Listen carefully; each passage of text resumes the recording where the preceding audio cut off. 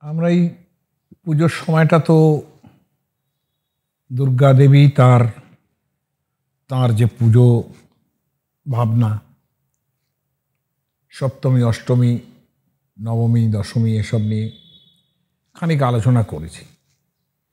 কিন্তু দুর্গা আমাদের কাছে সম্পূর্ণই হন না, বিশেষ করে বাঙালির কাছে। যে তাকে যদি আমরা সেই মা হিসেবে না পাই এবং কন্যা হিসেবে না পাই। আসলে অবতারের কথা বলছিলাম এক সময়, এটাও কিন্তু একটা অবতার।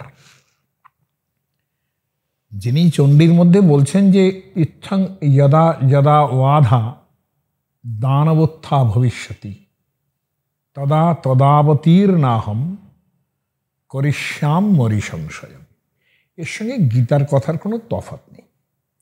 কিন্তু অবতার হলেন বটে, কিন্তু আমরা ভাবলাম যে মহিষাসুর মর্দিনী একটা অবতার হলেন। কিন্তু একটা কথা ভেবে দেখুন তো যে বাঙালি যে দুর্গাপূজা করে, এই যে অপেক্ষাটা করে, সেটা কি একটা যুদ্ধোন্মাদ? এতকাল পরে সে মহিষাসুরের কী রেমিনেশনস আছে? কিংবা দুর্গা মহিষাসুর বধ করছেন, তার কী রেমিনেশনস আছে? যে আমরা এখনও পর্যন্ত তার বাৎসরিক তপস্যা করে যাই এবং বৎসরের যেই পরিমাণ আমাদের বর্ষা মিটল তো আমাদের একেবারে ভাবনাই তো পুজো আসছে পুজো আসছে। অনেক লোক তো আমি একটা সময় দেখেছি, জুলাই মাস থেকে প্রায় পুজোর বাজার আরম্ভ হয়ে যেত একটা সময় আমি দেখেছি। কিন্তু এই আশাটা, এই যে নতুন জামা কাপড় পরা এটা ই করা, এটা কেন? তাহলে পূজার মধ্যে আমাদের কিন্তু নিজের একটা পার্ট তৈরি হয়েছে, যে আমাদের সব কিছু নতুন সাজে সাজতে হবে। এই যে মা বাপের বাড়ি আসছে, এই একটা বোধ কিন্তু আমি বলব দুর্গার অবতারের যে মানুষই লীলা যেইটা আমরা তো কৃষ্ণ অবতারের সময় এইটা বলেছি, যে কৃষ্ণের যত যতে খেলা সর্বোত্তম নরলীলা। নর নরবপু তাহার স্বরূপ। নরবপুটা হতে হবে। তাহলে যে নরবপুতে আমরা কৃষ্ণকে দেখি, তাতে যেমন আমাদের তার লীলা বিগ্রহ তৈরি হয়, তেমনি ভগবতী দুর্গাকে আমরা যে মহিষাসুর ও মর্দিনীর পুজো করি বটে, একটা অসুর থাকে, একটা দুর্গা তার ত্রিশূল নিয়ে অসুর বধও করেন। কিন্তু আমরা যখন দুর্গামূর্তি দেখি, তখন একবারও কি, কারণ আমার মনে আছে দুর্গা যখন তৈরি হতো, দুর্গার মূর্তি যখন তৈরি হতো, আমার বাপ ঠাকুর তো না না, এবার মায়ের মুখটা খুব ঢলো হয়েছে। এরকম বলতো। এরকম এই যে ব্যাপারটা যে মায়ের মুখটা ঢলো এখানে মহিষাসুর কিন্তু খুব একটা মানে সেকেন্ড হ্যান্ড ডিলার হয়ে যান একদম। এইখানে খুব একটা তার মূল্যই থাকে না। এই যে, এই একটা এই যে একটা মানবায়ন ভাবনা, এই মানবায়িত ভাবনাই কিন্তু দুর্গাকে, বাঙালি সেইভাবে তাকে গ্রহণ করেছে। এবং সেখানে আমাদের তো যারা আছেন, আসলে কি হয়, তা যারা পণ্ডিতজনে যারা সব একটু ওই রিসার্চ রিসার্চ করেন, আজকের দিনের মার্কসিস্টরা যারা রিসার্চ রিসার্চ করেন, তারা তো, তাদের কথাটা আমি ফেলি না, এটা সত্যি কথাই যে একটা আমাদের দেশের যে যে জিওগ্রাফি যে ডেমোগ্রাফি হ্যাঁ এবং তার যে অ্যান্থ্রোপোলজি নদী, নালা, পুকুর, এত বেশি বঙ্গদেশে, এত শস্য, এত সবুজ, এই সব কিছু আমাদের মধ্যে কিন্তু একটা একটা নরম, একটা কাদা কাদা ভাব যে তৈরি করে। আমরা সেটা মহিষাসুর ও মর্দিনীর মধ্যে না এনে কিন্তু পারিনি পারিনি। এবং সেটার সূত্রপাত শুধু আমরা করিনি, সেটা ওনারাও করে দিয়েছেন, যারা উত্তর ভারতের যারা তারাও করে দিয়েছেন। আর সেটাই আর কি আমাদের কাছে খুব বড় ইম্পর্ট্যান্ট মনে হয় যে আমাদের চৈতন্য মহাপ্রভু আমাদের রামকৃষ্ণদেব, তারা যেভাবে দুর্গাকে দেখেছেন, মামা করেছেন, তাতে কিন্তু আমরা তো এটা ভাবতে পারি না যে অবতার যিনি হবেন, আমাদের কাছে অবতারের যে প্রমাণ সেটা খুব তরবারির ঝনঝনি কিংবা গদা দিয়ে মারছেন কিংবা ধনুক বান দিয়ে মারছেন, যার জন্যে রামচন্দ্রও আমাদের কাছে কিন্তু একটু অন্যরকমভাবে আসেন আর কি। তো এই যে এই যে একটা মূর্তি ভাবনা যেটা বঙ্গদেশের পক্ষে স্পেশাল সেটা দুর্গার মধ্যেও তো এসছে, আমরা তো ভাবতে পারি না যে চৈতন্য মহাপ্রভু খুব ধনুস্বর নিয়ে অবতার গ্রহণ করছেন কিংবা রামকৃষ্ণদেব। হ্যাঁ তাহলে সেইরকমভাবে দুর্গাও কিন্তু আমাদের সেই রকম একটা অদ্ভুত মানবায়ন তার মধ্যে ঘটেছে।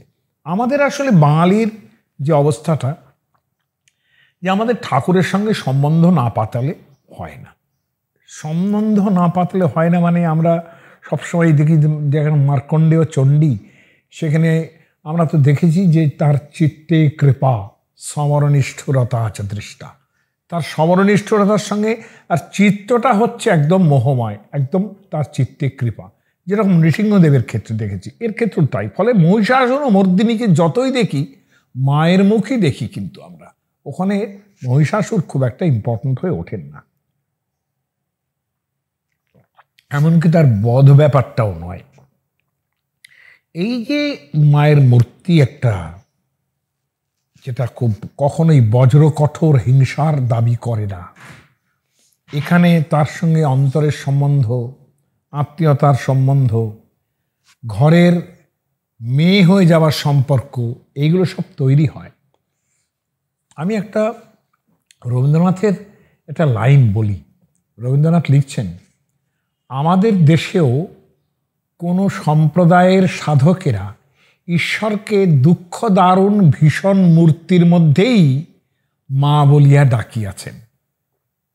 রাম, রবীন্দ্রনাথ কিন্তু ব্রাহ্ম, তার এটা নজর এড়ায়নি যে আমরা কি করছি। এই জন্যই একটু কথা বলছেন যে আমাদের দেশেও কোনো সম্প্রদায়ের সাধকেরা ঈশ্বরকে দুঃখ দারুণ ভীষণ মূর্তির মধ্যেই মা বলিয়া ডাকিয়াছেন। সে মূর্তিতে বাহ্যত কোথাও তাহারা মধুর ও কোমল। শোভন ও সুখকর করিবার লেশমাত্র চেষ্টা করেন নাই। সংহার রূপকেই তাহারা জননী বলিয়া অনুভব করিয়াছেন। এই সংহারের বিভীষিকার মধ্যেই তাহারা শক্তি ও শিবের সম্মিলন প্রত্যক্ষ করিবার সাধনা করেন। ভাবা যায়? রবীন্দ্রনাথ কিন্তু এই যে এই যে একটা এই যে একটা একটা অন্যরকম ভাবনা মহিষাসুর মর্দিনীকে নিয়ে। আচ্ছা ভাবুন, আপনারা তো সেই এটা শোনেন। আমার মাঝে মাঝে মনে হয় সেটা আমার পক্ষে তো সম্ভব হবে না সেটা। মনে মানে মনে হয় মাঝে মাঝে যে বিখ্যাত যে গানটা শোনেন আপনারা, যখন বীরেন্দ্রকৃষ্ণ ভদ্রের মহালয়াটা হয়, যে ঐগিরি নন্দিনী। আপনারা কখনো তো এটার মানে বোঝাটা খুব কঠিন। যিনি এই কবিতা লিখেছেন, তার যে ছন্দের বোধ, তার যে শব্দ প্রয়োগের বোধ, তার যে ব্যাকরণ জ্ঞান, সেটা যে কতখানি, সেটা যদি এইটা আমি ব্যাখ্যা করে কোনো দিন বলতে পারতাম, তাহলে বলতাম। কিন্তু সেটা তো সম্ভব নয়, হলো না সেটা সম্ভব। একেবারে আমাকে তাহলে একবারে ক্লাস করতে বসতে হয় যে এই শব্দের এই মানে এই শব্দের এই মানে এখানে ব্যাকরণ এইরকম হয়েছে। কিন্তু তবু I will give a touch যে কেমন করে শুধু এইটা যে একটা মহিষাসুর মূর্দিনীর মধ্যে আমরা কতটা মধুরতা দেখছি। এই এই একটা ইয়ে করুন। আপনি প্রথমত তার সুর খেয়াল করুন। যিনি সুর দিয়েছেন এটাই, তার একটা অনবদ্য সুর দিয়েছেন। ওইগিরি ওইগিরি নন্দিনী সুরটা আমার গলায় উচ্চারণ করে আর আমি সেটাকে নষ্ট করতে চাই না। কিন্তু যারা মনে করেন সেটা একবার শুনবেন যে ওইগিরি নন্দিনী নন্দিত মেয়েদিনী শুনবেন। কিন্তু আমার বক্তব্যটা অন্য জায়গায়। আমার বক্তব্যটা হচ্ছে যে ওই গিরি নন্দিনী নন্দিত মেদিনী বিশ্ব বিনোদিনী নন্দসুতে। গিরিনন্দিনী মানে বোঝেন আপনারা। নন্দিত মেদিনী সমস্ত পৃথিবীকে তিনি আনন্দিত করেন। নন্দিত মেদিনী বিশ্ব বিনোদিনী সমস্ত বিশ্বের তিনি বিনোদিনী। হ্যাঁ আমরা তো কৃষ্ণের বেলায় শুধু পড়ি হ্যাঁ যে তিনি বিনোদ বিনোদ বিনোদ চূড়া চূড়া বামে হেলেছে। এসব তো বিনোদ, বিনোদিনী কথাটা আমরা রাধিকার ক্ষেত্রে ইউজ করি। বিশ্ব বিনোদিনী। এবং সঙ্গে সঙ্গে আর একটা শব্দ প্রয়োগ করলেন, একেবারে নাবিয়ে দিলেন একেবারে কৃষ্ণের পাশাপাশি নন্দ সুতে অর্থাৎ সেই যে নন্দ, যার ঘর থেকে বসুদেব কৃষ্ণকে নিয়ে এলেন আর তার ঘরের মেয়েটি তার দিয়ে এলেন যশোদা, যশোদার কাছ থেকে হ্যাঁ নিয়ে এলেন মেয়েটি, সেটা কিন্তু নন্দসুতা, যশোদা গর্ভপ্রসূতা নন্দসুতাকে নিয়ে এলেন হ্যাঁ আর ছেলেটি দেবকীর দিয়ে এলেন তার কাছে, নন্দসুতে। তার মানে এই যে কৃষ্ণলীলার যে মাধুর্য, দেখুন যিনি শ্লোক লিখেছেন তা এখানেই কিন্তু অনুসূত করে দিলেন নন্দ গিরিবারা বিন্ধ শিরোধি নিবাসিনী। যিনি গিরিবর বিন্ধ, শির তার যে শিখর অধিনিবাসিনী তার শিখরে যিনি থাকেন, অর্থাৎ বিন্ধবাসিনী দেবীর কথা বলছেন। যশোদার সুতা যিনি, তাকে আমরা কিন্তু বিন্ধবাসিনী দেবী বলি। আরও কি? বিষ্ণু বিলাসিনী, বিষ্ণুর বিলাসিনী। দেখুন, এখানে একটা কথা আছে। কথা কি? দেখুন, খোল মার্কণ্ডেয় চণ্ডী যে আপনারা শোনেন, চণ্ডী পাঠ শোনেন, সেখানে শিবের সঙ্গে তার যে সম্বন্ধ আছে, এটা আমরা কোথাও পাই না। তিনি যে শিব জায়া, পাই না।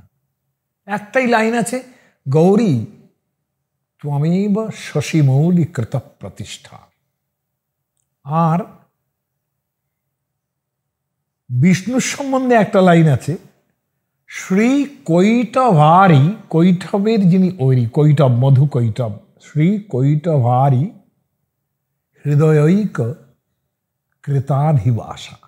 অর্থাৎ যিনি কৈটভারীর হৃদয়ে যার অধিবাস সেই সেই দুর্গার কথা বলা হচ্ছে। বিষ্ণু বিলাসিনী, জিষ্ণু নুতে। জিষ্ণু মানে কিন্তু অর্জুন। অর্জুনের একটা নাম অর্জুন জিষ্ণু। বর্গের জয় হ্রস্বইকার আর মধ্যন্যশয় মূর্ধন্যরায় হ্রস্বকার জিষ্ণু নুতে জিষ্ণু নুতে মানে মহাভারতে দেখা যাবে যে এই যুদ্ধের বিশাল যুদ্ধের আগে অর্জুন কিন্তু দুর্গা স্তব করছেন। দেখুন কতগুলো মিথ একটা জায়গায় জড়ো করে দিয়েছেন এই ভদ্রলোক যিনি এই কবিতা লিখেছেন। ভগবতী হে সিথি কণ্ঠ কুটুম্বিনী, সিথি কণ্ঠ কুটুম্বিনী। সিথিকণ্ঠ এমনিতে ময়ূর। শিব স্মৃতিকণ্ঠ শিব বলা হচ্ছে। সিথিকণ্ঠ কুটুম্বিনী, তারই কুটুম্বিনী, অর্থাৎ স্ত্রী তিনি। ভূরি কুটুম্বিনী, ভূরি কৃতে। আর ভুরি কুটুম্বিনী মানে ভুরি মানে অনেক। অনেকের তিনি কুটুম্বী মানে আত্মীয়। ভূরি কৃতে, যিনি অনেক কিছু করেন। ভূরি মানে অনেক। জয় জয়, হে মহিষাসুর মর্দিনী রম্য কপর্দিনী শৈলসুতে। সবগুলো সম্বন্ধ কিন্তু, শৈলসুতা। হ্যাঁ? তারপরে এই যে আর একটা কথা যে রম্য কপর্দিনী কপর্দি কিন্তু শিব। কপর্দ মানে হচ্ছে যিনি জটা বাঁধছেন, চুল বাঁধছেন। চুলটা যিনি একসঙ্গে করছেন, তিনি কপর্দি, শিব। কপর্দি বলতে কপর্দ বলতে চুল বোঝায় কেশ রাশি বোঝায়। কিন্তু এই এমন একটা দেবতা যিনি অসুর নিধন করবেন না কি করবেন তা জানি না, কিন্তু রম্য কপর তিনি সুন্দর করে চুল বাঁধা আছে তার। এই যে বিলাসটা, সুরাবারা বর্ষিনী দুর্ধর ধর্ষিনী দুর্মুখ মর্ষিনী হর্ষরতে আপনি কঠিনের সঙ্গে মিক্সচার অফ বিউটি সুরাবারা বর্ষিনী অর্থাৎ যারা সমস্ত দেবতারা, তাদের কাছে তিনি বর্ষার মতো কৃপা করেন। দুর্ধর ধর্ষিনী, যিনি দুর্ধর, যাকে ধরা যায় না, অর্থাৎ যেসব অসুর ইত্যাদি, তাদের ধর্ষণ করেন, অর্থাৎ মারেন। এখানে আবার অন্য শব্দ ভাববেন না, ধর্ষণ শব্দটা সংস্কৃত কিছু খারাপ শব্দ নয়। দুর্মুখ মর্ষিন দুর্মুখ মর্ষিন অর্থাৎ যারা দুর্মুখ, খারাপ কথা বলে, তাদের তিনি ক্ষমা করেন কিংবা আবার কখনো কখনো শাস্তিও দেন। ঘোষ রাতে অনেক অনেক চিৎকার করেন কখনো কখনো। দনুজ নিরোধিনী দৈত্য বিনাশিনী মানে বলে দিতে হবে না। দুর্মদা শোষিনী সিন্ধু সুতে। সিন্ধু কিন্তু মানে মানে একেবারেই সমুদ্র। খেয়াল করে দেখুন যে পরমা প্রকৃতি, সেটা মানে সমুদ্র কিন্তু। সিন্ধু সুতা তিনি। দুর্মদ শোষিনী যারা অত্যন্ত অহংকারী তাদের শোষণ করেন। জয় জয়, হে মহিষাসুরমর্তি। এর পরের লাইনটা। ওই জগদম্ব মদম্ব কদম্ব বনপ্রিয়বাসিনী হাসরাতে। জগদম্ব মানে জগদম্বা, সমস্ত পৃথিবীর মা তিনি। মদ অম্ব কদম্ব, এই যে মদ অম্ব আমার মা। আমার মা শুধু একটা নয়, পৃথিবীতে কত লোককে মা বলে ডাকি। হ্যাঁ? তাহলে এই যে মদ অম্ব কদম্ব মানে সমূহ। বিশাল একটা বলকে কদম্ব। যে মদম্ব আমার যে মায়েরা আছেন, তাদের মধ্যে প্রিয় বাসিনী, তাদের মধ্যেই তুমি প্রিয়ত্ব নিয়ে বাস করো। সবসময় হাসছো তুমি, হাস রাতে। শিখরি শিরোমণি তুঙ্গ হিমালয়, শিখরি মানে হচ্ছে পাহাড়। শিখরিন শব্দ। শিখরি শিরোমণি মানে তাদের থেকে সবচেয়ে বড় পাহাড়। শিরোমণি, তুঙ্গ হিমালয়, শৃঙ্গ নিজালয় মধ্যগতি। সে মানে হিমালয়ের বাসিনী আর কি তিনি। তার মধ্যেই তিনি থাকেন। এই লাইনটা, মধুরে মধুরে। মধুর মধুর বলার সঙ্গে সঙ্গে মধু কৈটব ভঞ্জিনী। মধু কৈটভ গঞ্জিনী কৈটভ ভঞ্জিনী রাস রাতে মধুরে মধুরে মধু কৈটব দেখুন একটা মধুর মধুর সঙ্গে তার সঙ্গে মধু কৈটব গঞ্জিনী কৈটভ ভঞ্জিনী রাস রাতে রাস মানে কিন্তু রস্যাতে যেখানে আস্বাদন হয় সেই আস্বাদন তিনি দেন। জয় জয়, হে মহিষ। আমি না আর বেশি বলছি না। কিন্তু আর একটা বোধ হয় না বলেই নয় যে কত মজা এই লাইনগুলোর মধ্যে।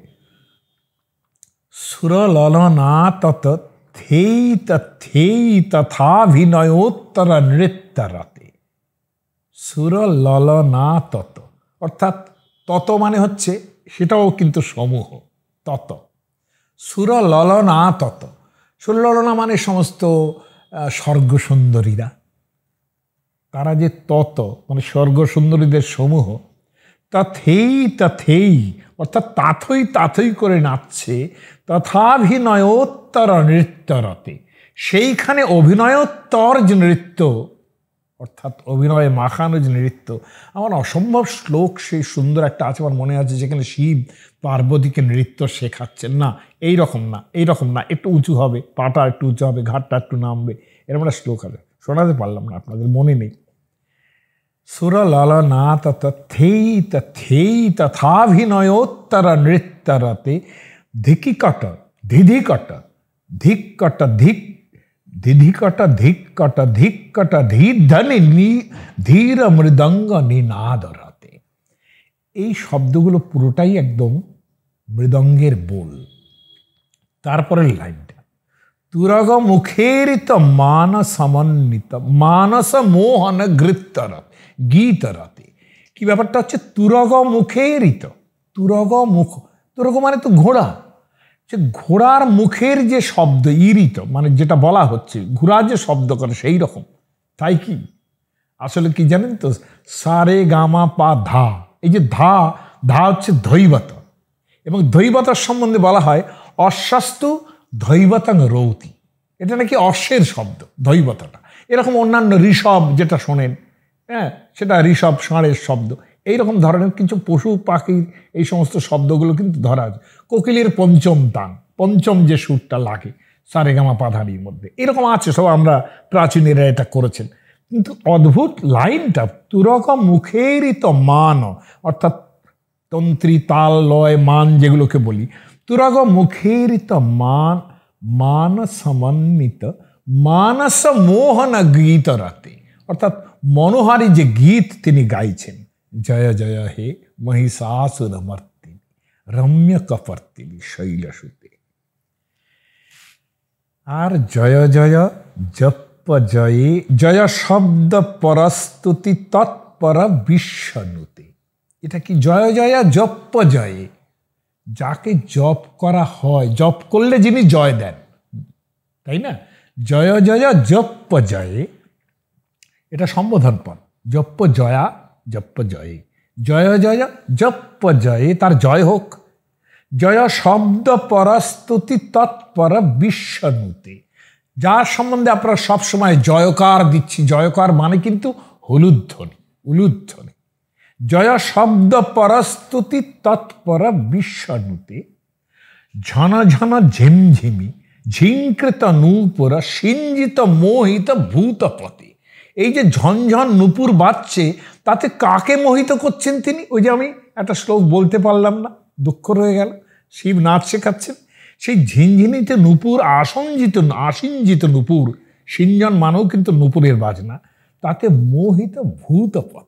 ভূতপতিকে মোহিত করছেন তিনি। আমাদের নাটক, নাট্য, আমরা বলি না যে লাস্য জিনিসটাই পার্বতীর যে নৃত্য, শিবের তাণ্ডব, এটা আমাদের নাটকের মধ্যে একটা বড় অঙ্গ, তাই না? নটিত নটার্ধ নটি। এ কি অসামান্য লাইন। নটিত নটার্ধ নটি নটনায়ক। নটার্ধ নটি। এখানে কিন্তু একটা অদ্ভুতভাবে যে প্রেমনা শরীরার্ধ হরাং হরস্য দিনী প্রেমে শিবের অর্ধ শরীর হরণ করেছিলেন সেই অর্ধ নারীশ্বর শিব নটিত নটার্ধ নটি, তার যে অর্ধনটি অর্থাৎ শিবের যে অর্ধনটি নটিত তাকে নাচাচ্ছেন তিনি। নটিত নটার্ধ নটি নটনায়ক, অর্থাৎ কিনা নটনায়ক কিন্তু শিব। তিনি কি করছেন আবার? নাটিত নাট্য সুগান রাতে তিনি নাটক করাচ্ছেন এবং সেই নাট্যের মধ্যে যে সুন্দর গানগুলি, সেগুলোতে যিনি রত, সেই যে শিব শিব শিব জায়া, জয় জয় হে মহিষাসুর মর্তিনী রম্য কপর্তিনী, শির শৈলসুতি। আমি আর বলব না। বলতে বলতে বলতে বলতে আমার কোনো শেষ হবে না। শেষে ভাববেন যে শুধু এই এটুকু বলে ছেড়ে দিল। হ্যাঁ ব্যাপার হচ্ছে আমি যেটা বলতে চাইছি যে দেবী দুর্গার কি মহিষাসুর এখানে দেখলেন? এই যে এই যে বিশাল কবিতাটা, তার মধ্যে কটা মাত্র শ্লোক বীরেন্দ্রকৃষ্ণ ভদ্রের মহিষাসুর মর্দিনীতে হয় কটা মাত্র তাতে আমরা মোহিত হই, কিন্তু দেবীর যে কোমল স্বভাবের যে রূপ, তাতে মোহিত হই। এই জায়গায় দাঁড়িয়ে আমার কেবলই মনে হয় যে দেবীর একটা সংসার জীবন, যেটা খুব ইম্পর্ট্যান্ট হয় আমাদের কাছে। আমরা সেটা ভাবি সবসময় যে দেবীর একটা সংসার জীবন আছে, যেটা তাকে সম্পূর্ণ মানবায়িত করেছে এবং দেবতার উৎস যেগুলো দুর্গার মূল আমরা দেখেছি, সেই উমা হৈমবতী থেকে আরম্ভ করে, তার মধ্যে যে তত্ত্বের গভীরতা দুর্গা পূজার মধ্যে যে প্রচুর পরিমাণ রিচুয়ালিস্টিক ব্যাপারগুলো, সব কিন্তু এই দশপ্রহরণ ধারিণী যে দুর্গা, তিনি সবসময় প্রহার করছেন এই যে ভাবটা, এগুলো তো আর আঙ্গিক।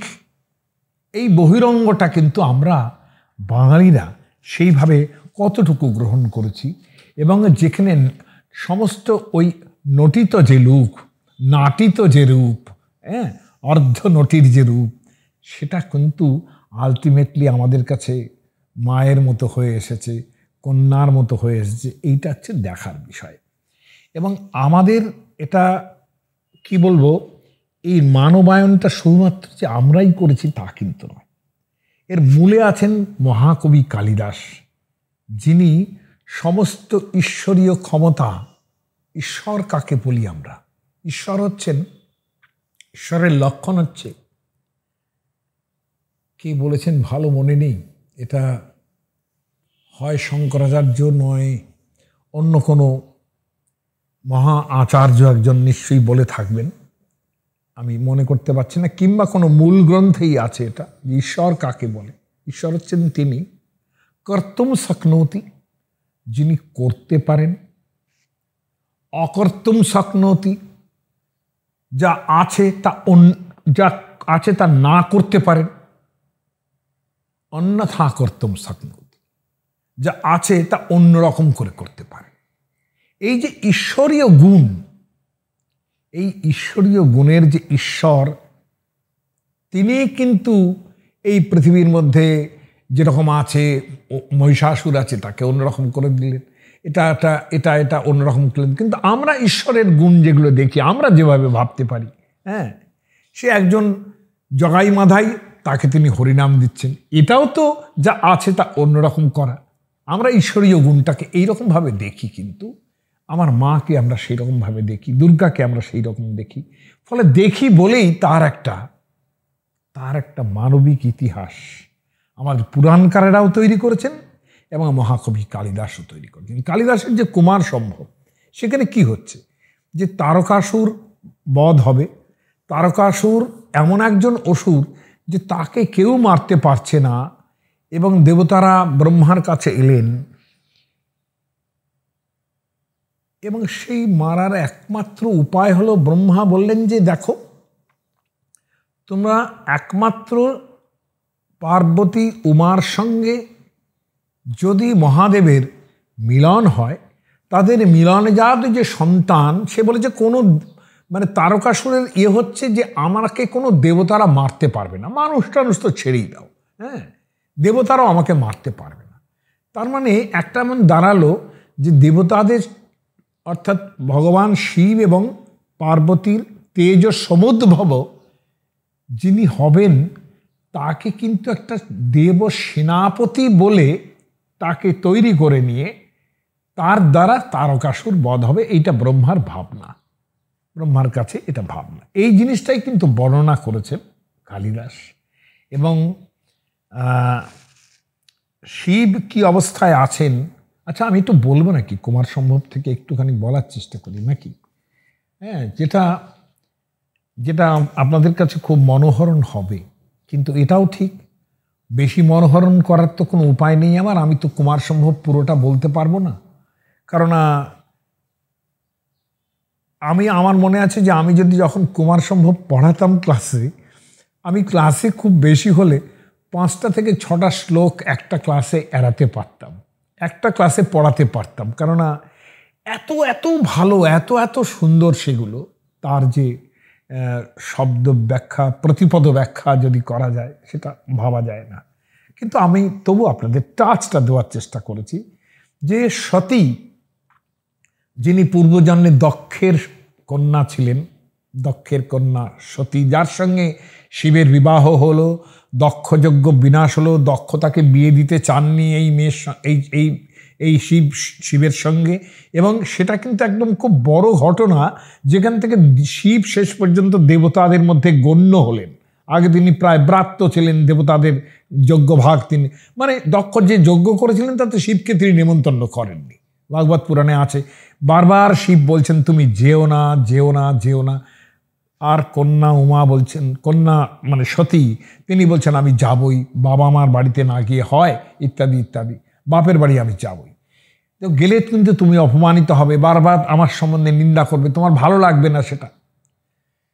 মানলেন না। ভাগবত পুরাণে অসামান্য বর্ণনা আছে, সে যদি কোনোদিন পারি বলব দক্ষ দক্ষসূতা হ্যাঁ? তো এলেন শেষ পর্যন্ত এবং নিন্দাও শুনতে হলো এবং আলটিমেটলি সতী কিন্তু নিজের যে যোগাগ্নি যোগের দ্বারা যে অগ্নি সৃষ্টি করলেন প্রতি নিন্দা শোনার পর কালিদাস সেইখান থেকে আরম্ভ করেছেন, সতী সতী যোগ বিশিষ্ট দেহা তাং জানমানে শৈলবধং প্রপেদে।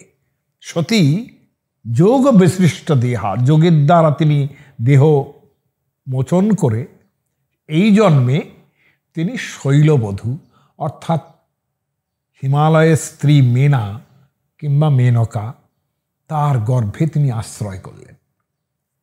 অবতার হচ্ছে কিন্তু। কালিদাস বর্ণনা করছেন, আমি বললাম তো যে এই বর্ণার বেশিরভাগের মধ্যে আমি যেতে পারব না। দিনে দিনে সা পরিবর্ধমানা লবধোদয়া চান্দ্রমশিব লেখা দিনে দিনে তিনি বাড়ছেন কীরকম? ঠিক চাঁদের এক একটা কলা যেমন করে বাড়ে। এরপরে পূর্ণিমা হবে যৌবনে, তাই না? তাং আর কি বলছেন? জ্যোৎস্নান্তরাণী বা কলান্তরাণী। এক একটা কলায় যেরকম জ্যোৎস্না বেড়ে যায়, চাঁদের সঙ্গে এক একটা কলা যুক্ত হলে যেরকম জ্যোৎস্না বেড়ে যায়, সেরকমভাবে পার্বতীর দেহ সৌন্দর্য দিনে দিনে বাড়ছে। তারা সবাই পার্বতীকে কেউ পর্বতের মেয়ে পার্বতী বলে ডাকেন। মা তাকে উমা নাম দিয়েছিলেন। কেন পার্বতী সেটা কালিদাস আগেই একটু বলে দিলেন, কারণ পরে একটা কথা বলতে হবে। আমরা পরেই বলব। পার্বতীর শরীরে তার যৌবনবতী হচ্ছেন তিনি, সেটা কি অসামান্য লিখছেন কালিদাস? তাং হংসমালা শরদীব গঙ্গাং মহৌষধিং নক্তমিবাক্তভাষ স্থিরোপদেশাম উপদেশ কালে প্রপেদিরে প্রাক্তন জন্মবিদ্যা। বেশি ব্যাখ্যা করছি না।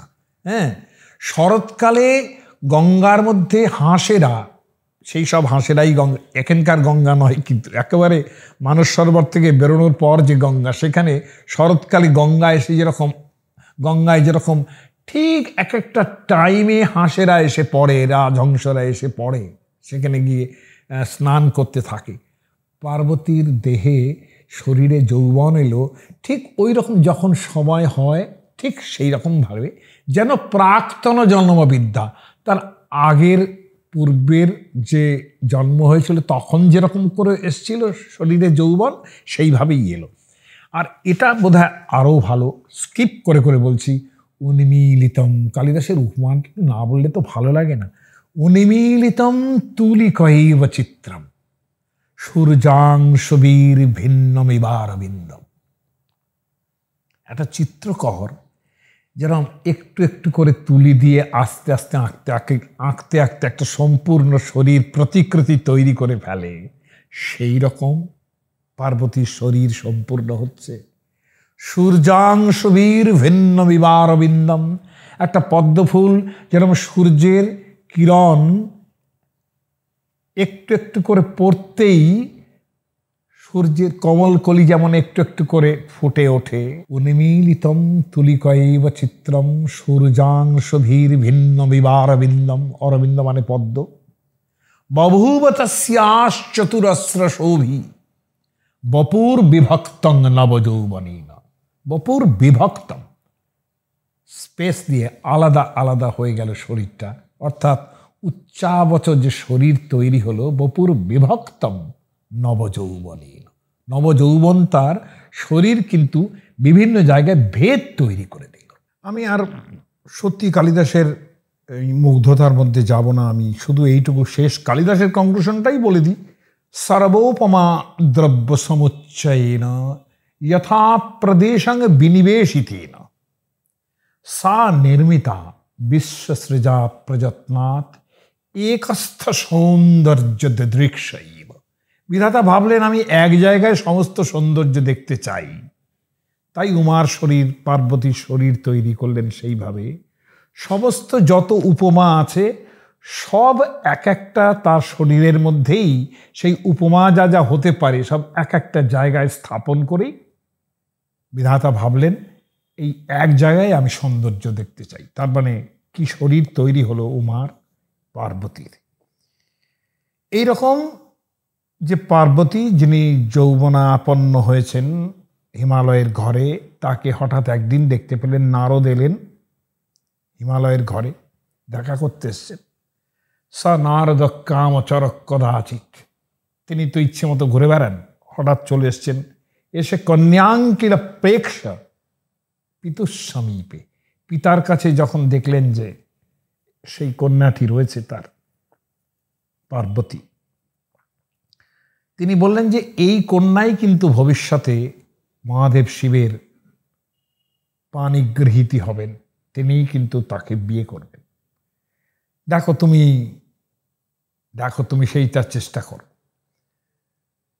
তো উনি বললেন যে, দেখুন, আমি তো যাচক হয়ে আমি যাব না। আমার কন্যাকে যদি নিজে যাচনা করেন তিনি, তবেই আমি বলে, তাহলে এক কাজ করো, ঠিক আছে, কন্যাতি তো তোমার তো কৈলাসে, এই তো পাশের বাড়ি হ্যাঁ? সেখানে অন্তত শিবের সেবা করুক। বলে, শিব কী অবস্থায় আছেন? বলে, ওই যে তার, তিনি দক্ষ সুতাকে হারিয়ে ফেললেন, তারপর থেকে তিনি একেবারে তপস্যায় মগ্ন হয়ে আছেন হ্যাঁ? এই এই হিমালয়েরই একটা একটা প্রস্থে, একটা একটা প্রান্তে তিনি তপস্যা করছেন বসে বসে। হ্যাঁ? যেখানে গঙ্গার ঢেউ সমস্ত দেবদার বৃক্ষকে ভিজিয়ে দেয়, সেইখানে বসে আছেন প্রস্থং হিমাদ্রের মৃগনাভিগন্ধি। আর সমস্ত হরিণেরা চড়ে বেলায় তাদের মৃগনাভির গন্ধে উদ্রিক্ত হয়ে আছে সেই বন, সেইখানে। কিঞ্চিত কনাথ কিন্নর মধ্যবাস। আর কিন্নর কিন্নরীরা একটু একটু যে গান গায় সেইখানে তিনি তপস্যা করছেন। ঠিক আছে, তিনি কি করতে আরম্ভ করলেন? পার্বতী প্রতিদিন অনেক অনেক ফুল তুলে নিয়ে যান, রুদ্রাক্ষের মালা নিয়ে যান হ্যাঁ অবচিত বলি পুষ্পা বেদি সন্মার্গ দক্ষা, নিয়মবিধি জলানাং বর্হিষাং চৌপনেত্রী অনেক কুশ গাছি কেটে কেটে নিয়ে যান, জল নিয়ে যান গিরিশম উপচার প্রত্যহংসা সুকেশী। সেই সুকেশী পার্বতী, আর কোনো কিছু বললেন না, সুকেশী পার্বতী। যদি কিছু এই সুকেশীর উপরে জানতে চান, আপনারা শরদিন্দু বন্দ্যোপাধ্যায়ের কুমার সম্ভবের কবিটা পড়বেন। তাহলে দেখবেন যে তিনি কীভাবে বিচার করেছেন এই জায়গাটাকে। তো এই অবস্থায় কৃত্তিবাস শিব তিনি আছেন, তিনি তপস্যা করছেন। এবং পার্বতী প্রতিদিন তাকে এই সেবা শুশ্রূষা করতে যান কুশ নিয়ে যান, এসব করতে থাকেন। এখন এদিকে দেবতাদের সেই তারকাসুর বধের জন্যে যেরমভাবে কালিদাস দেখিয়েছেন, সেটা শিবপুরাণেও আছে এবং কেউ বলেন, পণ্ডিতরা যারা বিচার করেছেন, তারা বলেন যে কালিদাস তার এই স্পিরিটটা পেয়েছিলেন শিব পুরাণ থেকে। আর অনেকেই আবার বলেন যে শিবপুরাণ অন্তত টেন সেঞ্চুরি ইলেভেন সেঞ্চুরিতে তার ফার্স্ট ম্যানাস্ক্রিপ্ট পাওয়া গেছে শিবপুরাণের। ফলত কালিদাস তার অনেক আগের কবি এবং সম্ভবত পৌরাণিক যিনি শিবপুরাণের, তিনিই হয়তো কালিদাস থেকে নিয়েছেন, এটা পণ্ডিতজনেরা মনে করেন। কিন্তু এটা বলতেই হবে যে কালিদাস যা নিয়েছেন আর শিবপুরাণেও যা আছে সেটা নিশ্চয়ই এমন কোনো ওরাল ডিপোজিট ছিল যেখান থেকে কালিদাস নিয়েছেন, শিবপুরাণ থেকে নাই নিন কিন্তু একটা ওরাল ডিপোজিট নিশ্চয়ই ছিল এই শিব পার্বতীর সম্বন্ধের মধ্যে, যেখান থেকে কালিদাস তার তার তার যে সোর্স, সেইখান থেকে তিনি কালিদাস তার কুমার সম্ভব রচনা করেছেন। এবং সেটা অবধারিতভাবে ফোর্থ সেঞ্চুরির আগে সেই সোর্স থেকে তিনি নিয়েছেন। সেখানে দেখা যাচ্ছে যে তারকাসুর বধের জন্য দেবতারা, আমি খুব সংক্ষেপে চলে যাচ্ছি, বধের জন্য দেবতারা ব্রহ্মাকে বলতে এসছেন, ব্রহ্মা বললেন যে আমি তো এ করতে পারব না। আমারই বয়সে এত বলিয়ান হয়ে পড়েছে এবং বিখ্যাত সেই লাইনটা আছে যে বৃষবৃক্ষোপি সংবর্ধ স্বয়ং ছেত্তম সাম্প্রতম আমি যাকে বর দিয়েছি সেই বৃষবৃক্ষকে আমি নিজে যাকে সিঞ্চন করে বড় করেছি সেই বিষবৃক্ষকে আমি নিজের হাতে কাটতে পারব না, সে ক্ষমতা আমার নেই। এটা ভালো হবে যদি শিব তার যে এবং উমা তাদের মধ্যে যদি মিলন ঘটাতে পারো, তাহলে তবেই সম্ভব হবে যে তাদের যে পুত্র সেনানি হয়ে এই তারকাসুরকে বধ করবে। বলে কীভাবে মিলন ঘটাবো? দেবতাদের বললেন বললেন যে দেখো পার্বতী আছেন, তার বিবাহ হয়নি, তিনি নবযৌবন সম্পন্না।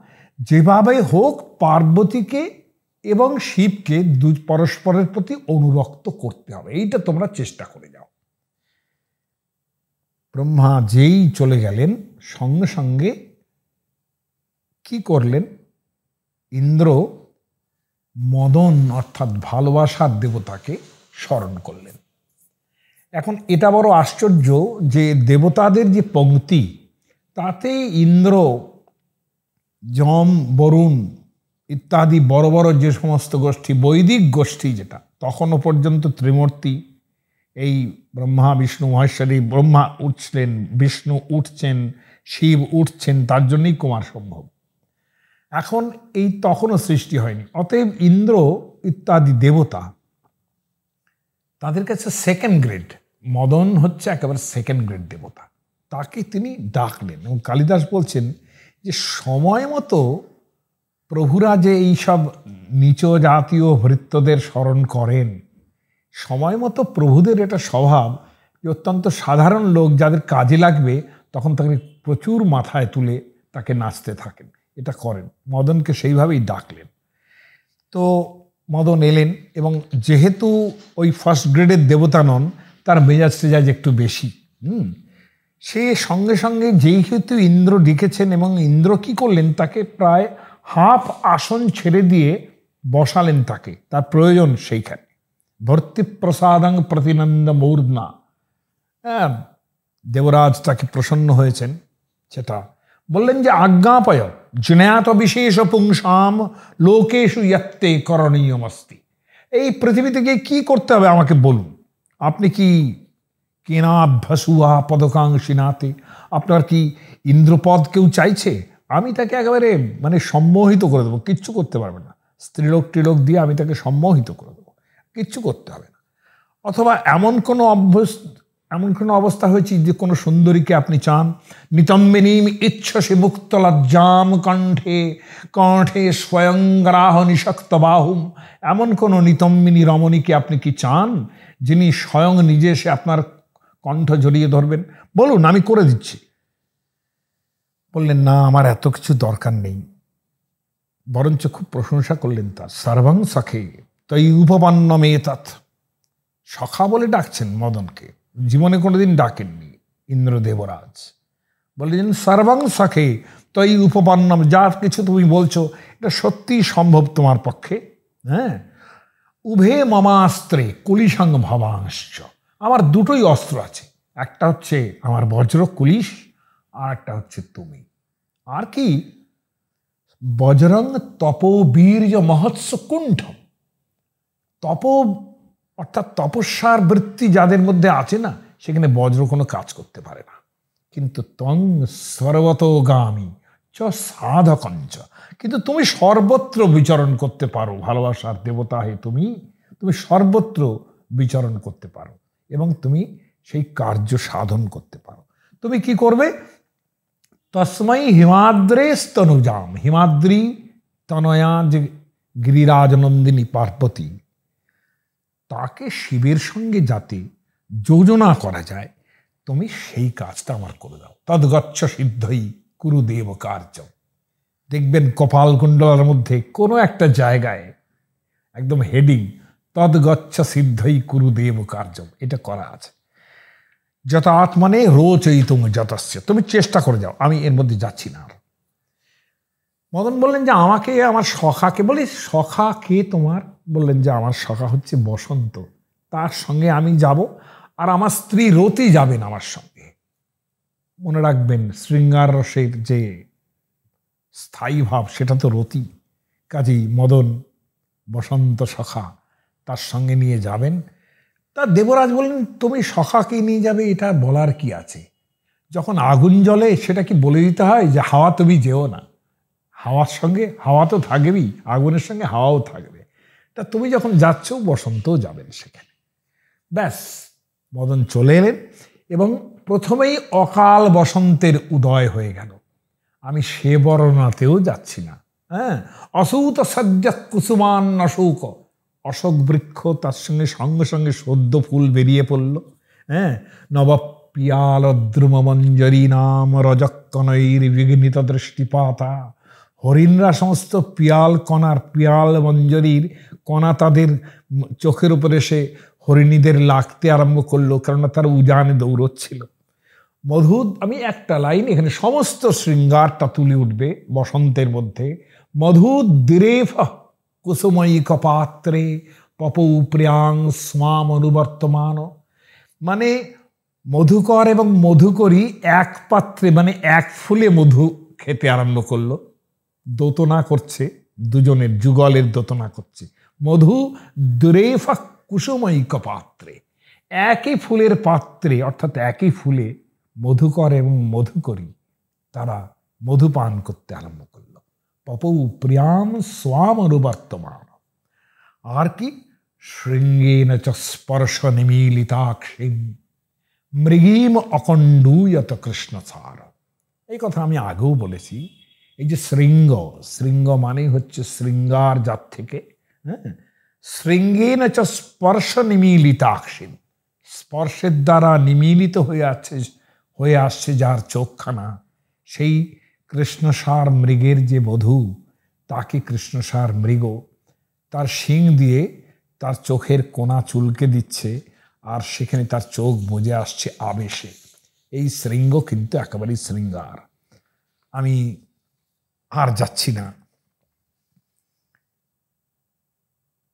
শিবকে যে অবস্থায় দেখলেন, যেরকম তপস্যা করছেন, ভালোবাসার দেবতা মদন, যিনি mainly the symbol of sexuality তার ভয় করতে আরম্ভ করল। এইরকম একটা চেহারা দেখে যেরমভাবে তপস্যা করছেন, তপবদ্ধ দৃষ্টি একেবারে। যোগের দ্বারা তিনি আবৃত একেবারে। সেখানে তার ভয় করছে। যে কি করে আমি সামাল দেব কি করে একটা রমণীকে এর সঙ্গে যোগাযোগ করাবো, আমি বুঝতে পারছি না। ভয় পাচ্ছেন তিনি। এর মধ্যে হঠাৎ করে তিনি দেখতে পেলেন অনুপ্রয়াতা বনদেবতাভ্যাম অদৃশ্যত স্থাবর রাজকন্যা। স্থাবর মানে পর্বত। তার যে রাজকন্যা মানে পার্বতীকে তিনি দেখতে পেলেন কিরম আসছেন? অশোক নির্ভৎসিত পদ্মরাগম আকৃষ্ট হেমদ্যুতিকর্ণিকারম মুক্তা কলাপীকৃত সিন্ধুবারম বসন্ত পুষ্পাভরণং বহন্তি। তিনি সমস্ত বসন্তের পুষ্পের সাজে সেজেছেন। অকাল বসন্ত উদয় হয়েছে। অশোক নির্ভৎসিত পদ্মরাগম অশোক ফুল, তার যে রাগ মানে রং, সেটা যেন তার গায়েও লেগেছে। আকৃষ্ট হেমদ্যুতি কর্ণিকার দুতি কর্ণিকারের দুতি তার গায়ে লাগছে মুক্তা কলাপীকৃত সিন্ধুবারম আর মুক্ত দিয়ে তিনি সিন্ধুবার পুষ্প দিয়ে কলাপীকৃত চুল বেঁধে ফেলেছেন বসন্ত পুষ্পাভরণং বহন্তি আবর্জিতা কিঞ্চিদিবস্তনাভ্যাং বাসো বসানা তরুণার্করাগম পর্যাপ্ত পুষ্পস্তব কাবনামরা সঞ্চারিণী পল্লবিনী লতেব। ভালো লাগতো আমার এই সমস্ত শ্লোক যদি ভালো করে ব্যাখ্যা করতে পারতাম। কিঞ্চিত স্তনভারে কিঞ্চিত বিনত এই অবস্থায় তিনি আসছেন এবং পল্লবিনী লতার মতো সঞ্চারিণী চলতে আরম্ভ করেছে এই রকম এই রকম একজন পার্বতী তার দেহলতা নিয়ে তিনি আসছেন। এইবার মদনের কিন্তু বেশ একটা তার ভালো লাগল যে এইবার আমি একটা আধার পেয়েছি যেখানে আমি সম্মোহন তৈরি করতে পারব। পর্বত রাজকন্যা এসেছেন এই সংবাদ দিলেন নন্দী, শিবের অনুচর। শুশ্রূষয়া শৈল সুতাম অপেতাম তিনি এসছেন আপনার সেবা করার জন্যে। তিনি শিব বললেন, নিয়ে এসো তাকে, তারও সেই মুহূর্তে তার যে পরম জ্যোতি স্বরূপ তিনি যে তপস্যা করছিলেন, সাময়িকভাবে সেই তপস্যা রোধ করলেন তিনি।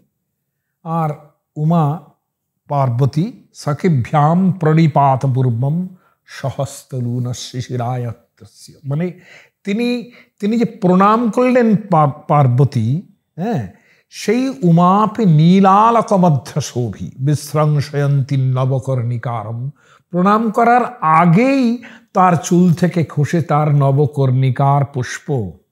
চকার কর্ণচ্যুত পল্লবীন মূর্ধনা প্রণামং বৃষবধ্বজায় তিনি প্রণাম করলেন, তার আগেই তার অঞ্জলি পড়ে গেল। তার কপল থেকে, তার মাথা থেকে চুল খসে সমস্ত কর্ণিকার পুষ্প তার পায়ে নিবেদিত হয়ে গেল। আমি যখন নেপালে দেখতে গেছিলাম পশুপতিনাথ, দেখলাম সেখানে কর্ণিকার ফুল বিক্রি হচ্ছে। মানে কর্ণিকার দিয়ে পুজো করতে হয়। কর্ণিকার ফুল খুব শিবের প্রিয়। কালিদাস পর্যন্ত সেটা লিখছেন যে চর্ণচ্যুত পল্লবের সঙ্গে কর্ণিকার পুষ্প তার পায়ে গিয়ে পড়ল। কামস্তু বানাবসরং প্রতীক্ষ পতঙ্গবাথ বন্নিমুখং বিবিক্ষু। কথাটা বোধ হয় বঙ্কিমচন্দ্র অন্তত পক্ষে পঞ্চাশ বার ব্যবহার করেছেন। পতঙ্গবৎ বহ্নিমুখং বিবিক্ষু আগুন জ্বললে পরে এটা দেশে গায়ে দেখা যায় যে অনেক পতঙ্গ তারা এসে তার মধ্যে পড়ে এবং নিজেই পুড়ে যায়। মদনের অবস্থা সেই রকম। কার ঘুম ভাঙাচ্ছে, কার তপস্যা ভঙ্গ করছে সে বুঝতে পারছে না। কিন্তু উমা সমক্ষম হরবদ্ধ লক্ষ্য। উমা সামনে আছে, হরবদ্ধ লক্ষ্য, অর্থাৎ শিবের দিকে তাকিয়ে তার সম্মোহন যে বান সেটা তিনি মুক্ত করলেন। মদনের যে বানগুলো পুষ্পস্বর তার কতগুলো নাম আছে হ্যাঁ? এই সম্মোহন তার একটা। যেগুলো পুষ্পধনু বলা হয়, তার কতগুলো নাম আছে, সেগুলোর মধ্যেও যাচ্ছি না, অনেক ডিটেলস হয়ে যাবে। এখন এই যে সম্মোহন বান তিনি ত্যাগ করলেন, সেটার সঙ্গে সঙ্গে পার্বতীর এবং শিব, সেই মালাটা রুদ্রাক্ষ মালাটা পার্বতীর হাত থেকে নেবেন এই অবস্থায়। সেই সম্মোহন বান যে ত্যাগ করলেন, সেখানে পার্বতীর যে ভাবটা হলো এবং শিবের যে ভাবটা হলো কি? মানে প্রথমত সম্মোহন বান প্রয়োগ করার সঙ্গে সঙ্গেই হরস্ত কিঞ্চিত পরিবৃত্ত ধৈর্য। তার একটু ধৈর্যচ্যুতি ঘটল। চন্দ্রোদয়ারম্ভৈবাম মুরাশি যেমন চাঁদ উঠলে পরে আস্তে আস্তে জোয়ার ভাটা খেলতে আরম্ভ করে, জোয়ার আসতে থাকে আরম্ভ করে সেই রকমভাবে তার মনের মধ্যে ধৈর্য লুপ্তি হচ্ছে এবং তিনি উমামুখে বিম্ব ফলাধরষ্ঠে ব্যাপারয়ামা শত্রুলোচনানি তিনি তার তিনটে চোখ শিবের, সেটা উমার যে বিম্বাধর, সেখানে একসঙ্গে সেই তিনটি চোখের দৃষ্টিপাত ঘটল। আর সেটা দেখার পরেই পার্বতী কি হলো? বিবরণ্যতি শৈল সুতাপি ভাবম। তার ভাব ভাব মানে কি? নির্বিকারাত্মকে চিত্তে ভাব প্রথম বিক্রিয়া। নির্বিকার চিত্তের মধ্যে ভাব হচ্ছে প্রথম বিক্রিয়া। বিবরণ্যতি শৈল সুতাপি ভাবম। অঙ্গই স্ফুরত বাল কদম্ব কল্পই। তার সারা শরীর গায়ে রোয়ার মতো, কদম ফুলের রোয়ার মতো রোমাঞ্চ হলো। কদম ফুলের রোয়া নাকি সব একসঙ্গে ফোটে। এটা নাকি কদম ফুলের স্বভাব, যে কদম ফুলের সমস্ত রোয়াগুলো একসঙ্গে ফোটে। আর ওয়াল কদম্ব কল্প, কোথায় থেকে কোন কবি কোন জায়গায় চলে গেছে আমার কবির কথা আসুন।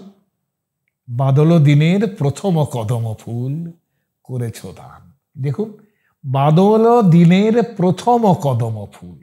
এই যে প্রথম কদম ফুল, যেটাতে সমস্ত রোয়া একসঙ্গে ফুটে ওঠে, এটা একটা প্রতীক। তার ভাবের রোমাঞ্চ তৈরি হচ্ছে। সঙ্গে সঙ্গে শিব, তিনি এতদিন ধরে তপস্যা করছেন, তার মনে হলো আমি এটা আমার কি হচ্ছে? তিনি তাকালেন এবং তাকিয়ে দেখলেন যে মদন একটি বৃক্ষের আড়াল থেকে তার পুষ্পস্বর ত্যাগ করছেন, আবার আরম্ভ করেছেন আর কি। সঙ্গে সঙ্গে কি হলো? শিবের যে তৃতীয় নয়ন থেকে কৃষাণু, তার তৃতীয় নয়ন থেকে অগ্নিপাত আরম্ভ হলো। এবং ক্রোধং প্রভ সংহর সংহরেতি, ইয়াবৎ গিরক্ষে মরুতাং বিশন্তি তাবৎস বহ্নির ভবনেত্র জন্মা। ভস্মাবশেষং মদনং চকার। কি হলো? স্বর্গ থেকে দেবতারা বলছেন, প্রভু ক্রোধ সম্বরণ করুন, ক্রোধ সম্বরণ করুন। ইয়াবৎ গিরা খেয়ে মরুতাং বিশান্তি। যতক্ষণ না পর্যন্ত দেবতাদের সেই চিৎকার থ্রু ইথার মরুতাং বিশন্তি এই পৃথিবীতে এসে পৌঁছচ্ছে। যাবৎ গিরক্ষে মরুতাং বিশন্তি তাবৎ ততক্ষণের মধ্যেই তাবৎস বহ্নির ভবনেত্র জন্মা। ভবনেত্র জন্মা ভবের অর্থাৎ শিবের ভব যে বহ্নি ভস্মাবশেষম মদনং চকার। ভস্য হয়ে গেলেন মদন তারপরে তো যে বর্ণনা আছে সে একদম মোহময়ী বর্ণনা, আমি তার মধ্যে যাব না, তার না আমার কোনো কাজে লাগবে না।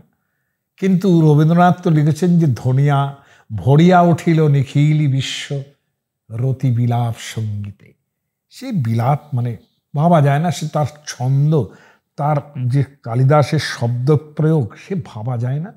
কোনো দিন যদি কোনো দিন সুযোগ হয়, সেটা আপনাদের শোনাতে থাকব। কিন্তু আমার মনে হয় যে এই জায়গা থাক, বরঞ্চ সেই জায়গায় আসি যে পার্বতী ফিরে এলেন, কারণ শিব পুরাণেও এগুলো আছে। পার্বতী দেখলেন যে আমার শরীরের যে সৌন্দর্য, এই দিয়ে শিবকে মোটেই ভোলানো যাবে না।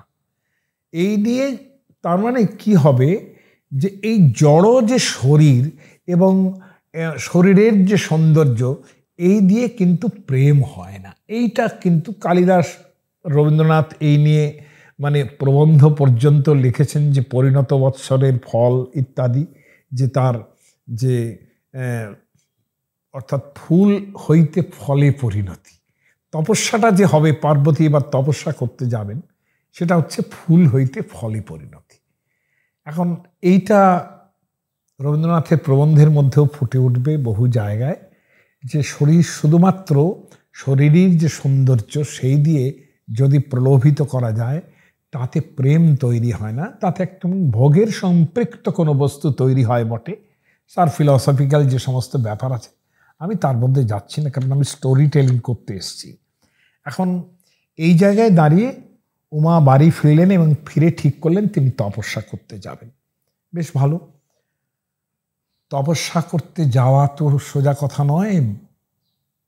গিরিরাজের যে গিরিরাজ নন্দিনী তিনি এতকাল এত এত ইয়ের মধ্যে বড় হয়েছেন ভোগ বিলাসের মধ্যে বড় হয়েছেন।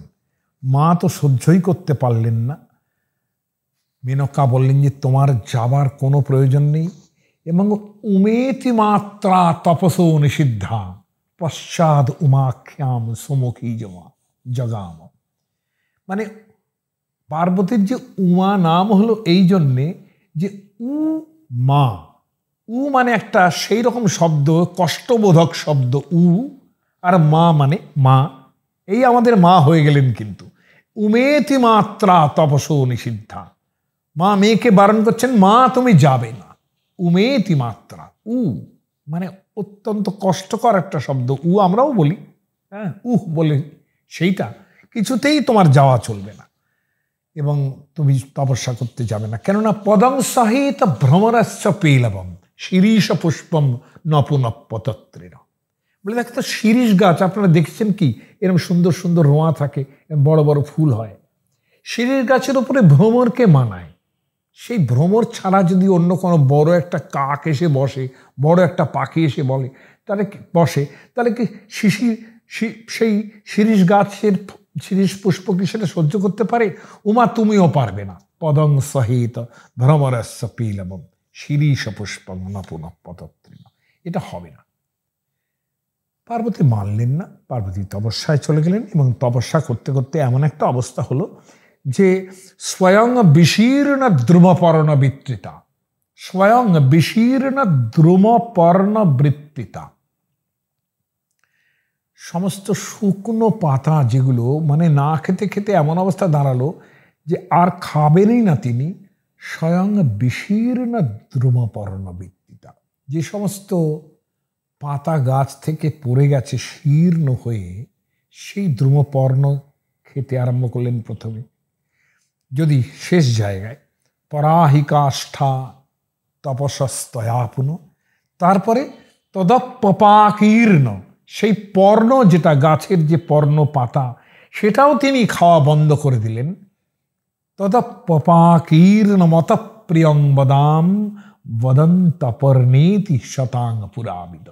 এই যে পর্ণ পর্যন্ত ত্যাগ করলেন, তারপর থেকেই পুরাবিদ, অর্থাৎ পৌরাণিকেরা, তাকে অপর্ণা বলে ডাকতে আরম্ভ করল অর্থাৎ তার নাম হলো অপর্ণা। এই কারণে তার নাম হয়েছিল অপর্ণা।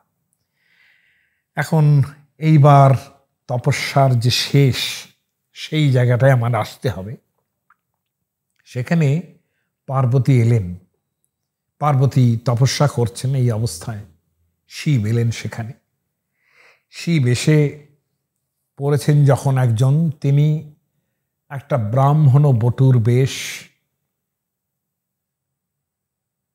ব্রাহ্মণের বেশে এসে উপস্থিত হয়েছেন সেখানে। ব্রাহ্মণ এলে পরে তো তাকে সমাদর করতে হয়। পার্বতীর সঙ্গে তার সখী বিজয়া আছেন। তাকে দিয়ে এবং নিজেও হ্যাঁ তাম, তম আতিথেই বহুমান পূর্বয়া। সপরজয়া, সপরজা মানে হচ্ছে পূজা। সপরজয়া প্রত্যুদিয়ায় পার্বতী, প্রত্যুদিয়ায়। তাকে দূর থেকে নিয়ে আসলেন প্রত্যুৎ গমন করে।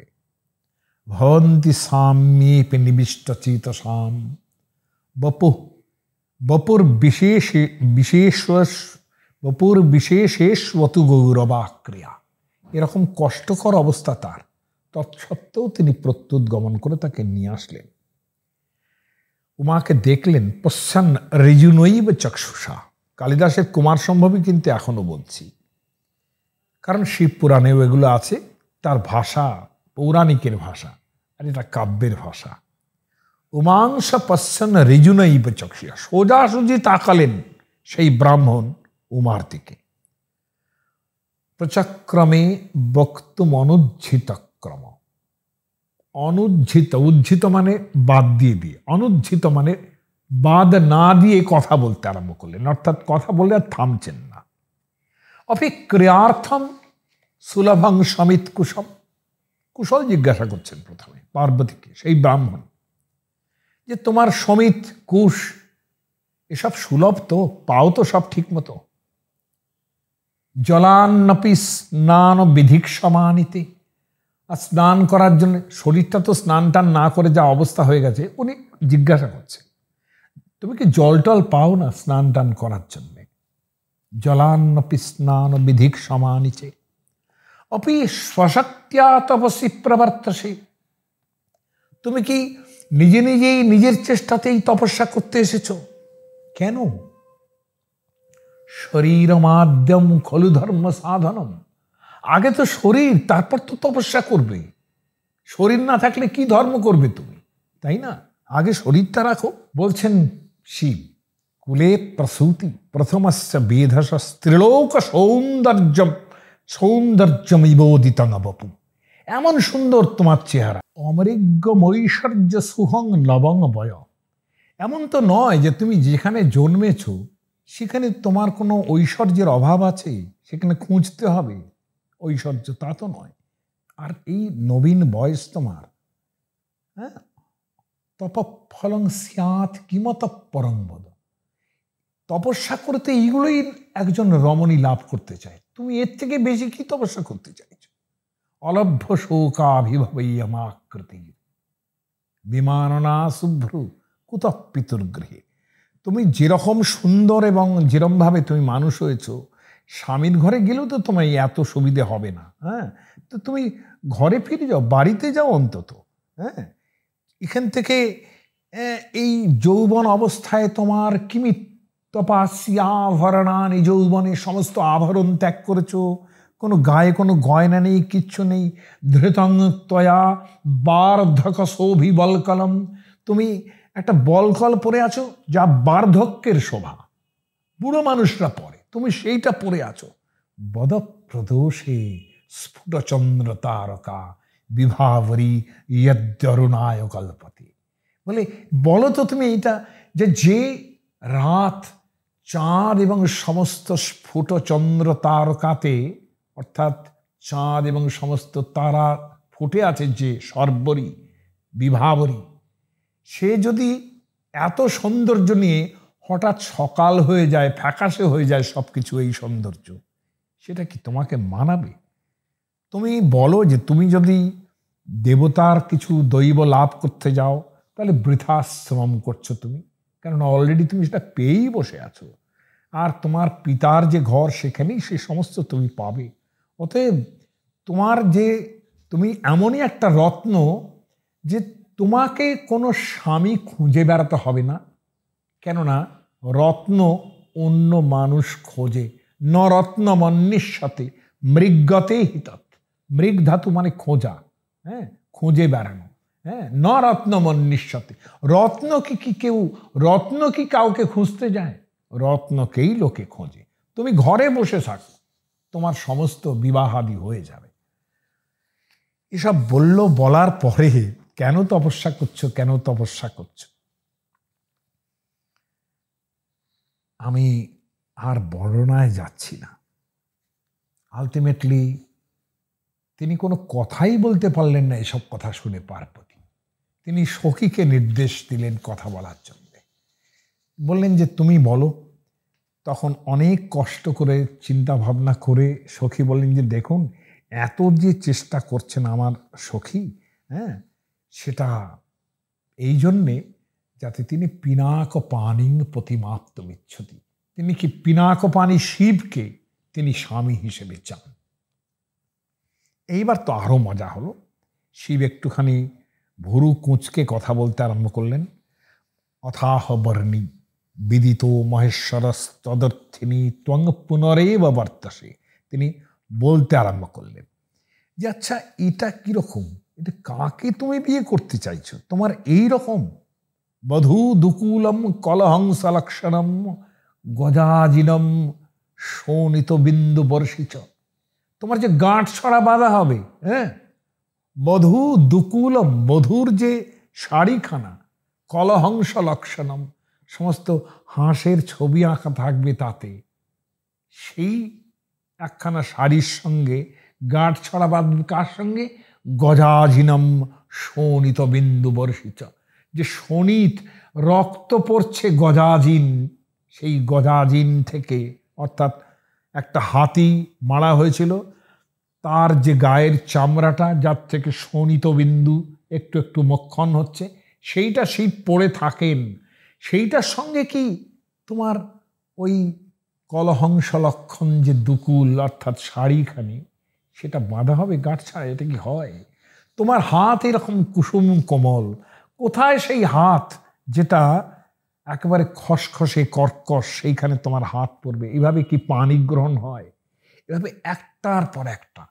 অকিঞ্চনস্য প্রভাবস্য সম্পাবন যেই এইসব বলতে আরম্ভ করলেন, ইতি এখন যাতে করে পার্বতীর আর কোনো রকম ইচ্ছে না থাকে, এমন একটা বিপরীত এবং বিপ্রতীপ ভাবনা তৈরি করলেন শিবের সম্বন্ধে এই ব্রাহ্মণ।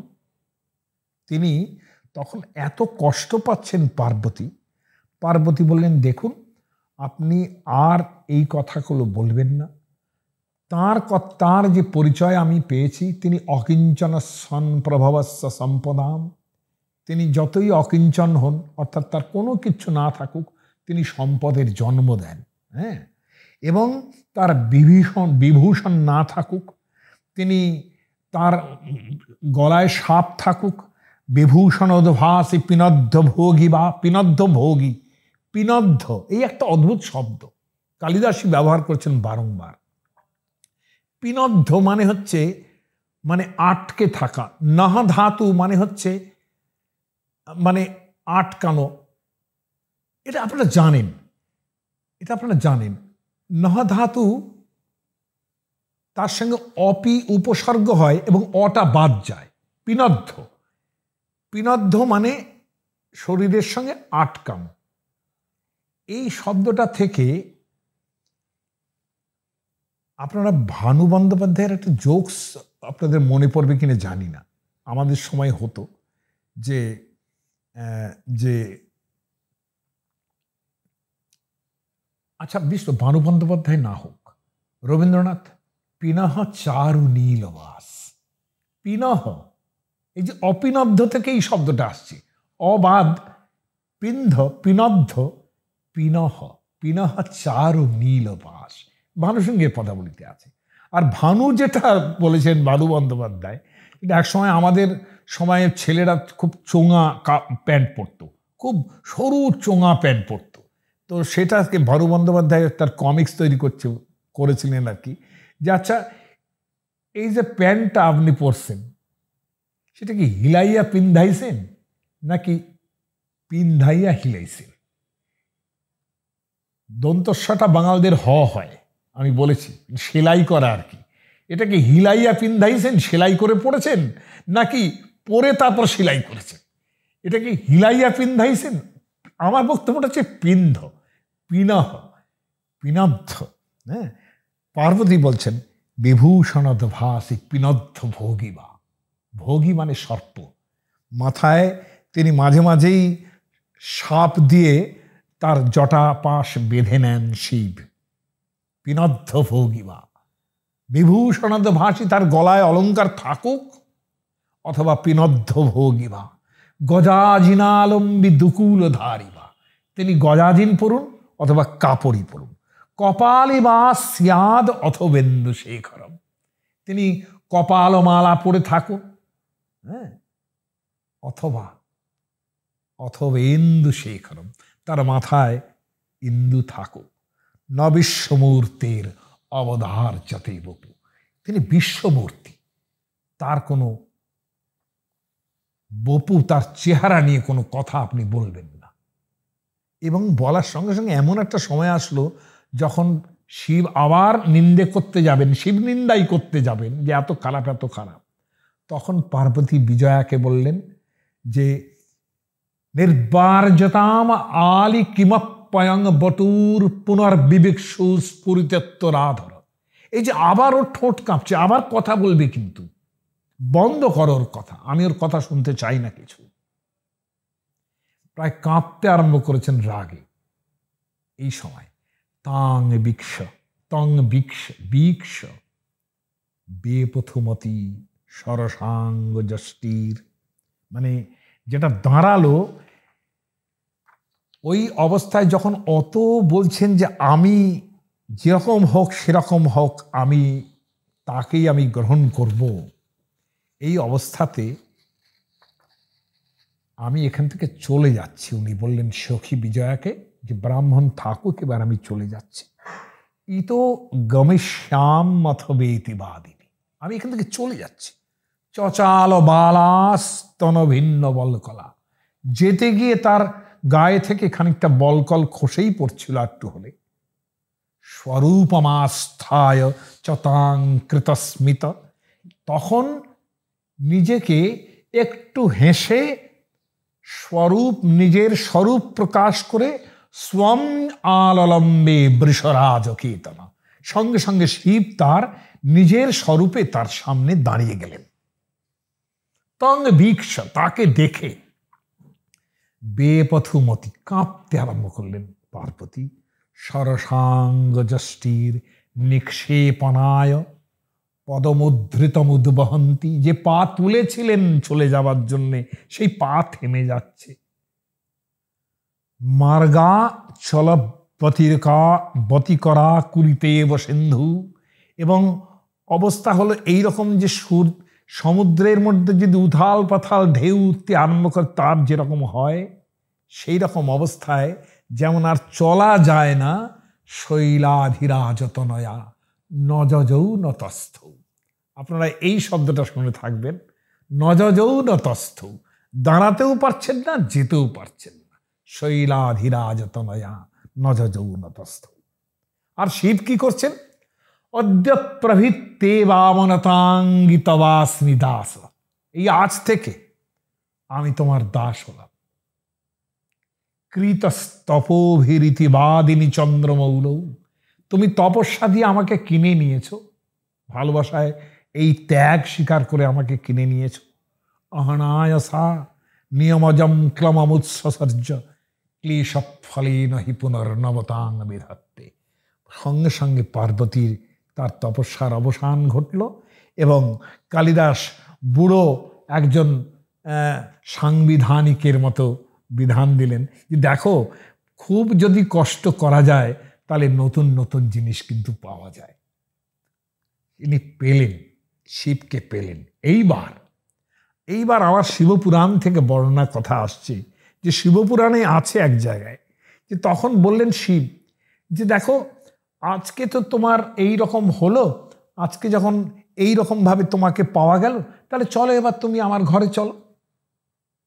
এবার বাড়ি চলো, আমার ঘরে গিয়ে উঠবে চলো। কিন্তু সেখানে কিন্তু পার্বতী সেটা করতে পারলেন না। পার্বতী বললেন দেখো, আমার যেরকম বিয়ে হবে বলে ভেবেছিলাম, আমি তো সেই রকমভাবে উপায় করব যে, যেভাবে মানুষের বিয়ে হয়। আমরা বারবার তো বলেছি যে দেবতার মানবায়ন কীভাবে ঘটে? এখন উমা হৈমবতী তিনি এরকম সুরে বাধা পড়ছেন। সেখানে শিব তাকে সঙ্গে সঙ্গে বাড়ি নিয়ে যেতে চাইছেন। এইটা পার্বতী কিন্তু বললেন না। যেরম করে লোকের বিয়ে হয়, সাধারণ মানুষের বিয়ে হয় সেই রকমভাবে আমার বিয়ে হবে। এটা শিবপুরাণের আরম্ভে যখন পার্বতীর এই এই যে কালিদাসের, কালিদাসী বর্ণনা যখন শেষ হচ্ছে, তখন শিবপুরাণে সেই তারকাসুরের প্রসঙ্গ আবার আসছে। সেখানে বললেন, চলো লজ্জা ত্যাগ করে। হ্যাঁ? তজ্জুতাঞ্চ তয়া লজ্জা, এহি আম গৃহং মম, আমার ঘরে চলো। তখন পার্বতী সখীর মাধ্যমেই বললেন কিন্তু, প্রসিদ্ধ ভদ্র পুরুষরা যেমন করে বিয়ে করেন ঠিক তেমন করে বিয়ে করলে আপনারও সুকীর্তি হবে। তেমনি আমার পিতারও মর্যাদা রক্ষা হবে। অতএব আপনি আমার পিতার কাছে যাচনা করতে হবে আমাকে। যেরকমভাবে মেয়ে দেখতে আসে, বর পুরুষের বাড়ি থেকে সেরকম সেরকমভাবে করতে হবে এবং প্রসিদ্ধই ক্রিয়াতে যদবৎ বিবাহ পরমং শুভ। সমস্ত লোক প্রসিদ্ধ যে সমস্ত আচার বিবাহ করার আছে তথা চৈব তয়া কার্যম। ঠিক সেইভাবেই তোমাকেও করতে হবে। তাতেই আমার চারদিকে যশ তৈরি হবে। সবাই আমাকে ভালোবাসবে, সেইভাবেই আমাকে চিনবে। এই যে মানবায়ন, এই মানবায়নের জায়গায় এসে আজকে পর্যন্ত পৌঁছলাম। পরের দিন আরেকটু বলব।